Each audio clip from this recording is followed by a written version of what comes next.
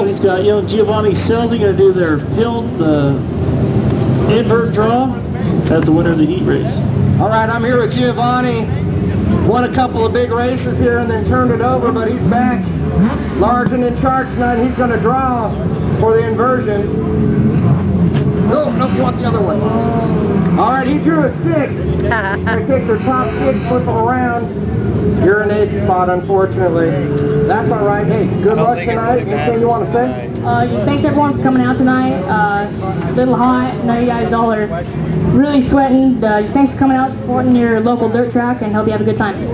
like a professional asking about how you guys are feeling. This guy's wearing three pounds of wool. I don't know, man. You look pretty sweaty to me. Hey, who's faster, you or your brother? Um, well, we haven't really got that. You're supposed to say you. Uh, I'm not gonna diss on it like that. Is he listening or something? Oh my. That's a good answer. Giovanni, we'll see you later on tonight. Give him a round of applause.